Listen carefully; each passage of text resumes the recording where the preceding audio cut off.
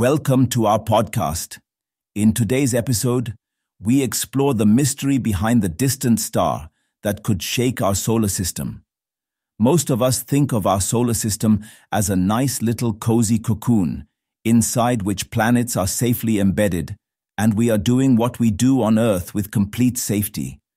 Little do we realize that the solar system is revolving around the center of the Milky Way galaxy at huge speed, and other celestial bodies are very much present around the solar system.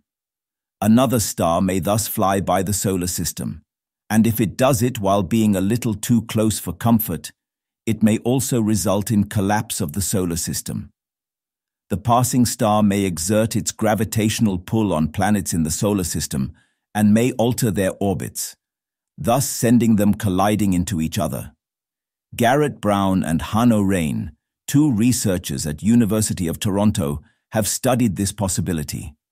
They've found that the gravity of the foreign star nudges orbits of some of the planets, even by 0.1%.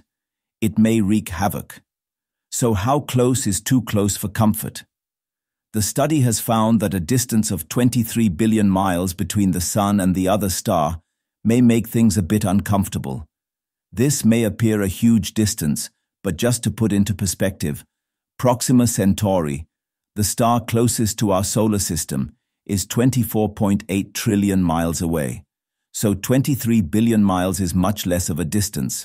Fortunately, the destruction of the solar system, if at all it happens, may not happen instantly. The process may take billions of years.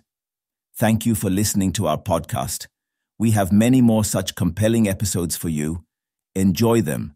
Do share your opinion in the comment box and subscribe to us for more.